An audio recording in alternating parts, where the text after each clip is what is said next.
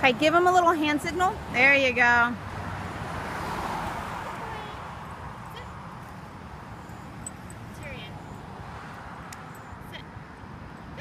Okay, let's go ahead and walk off.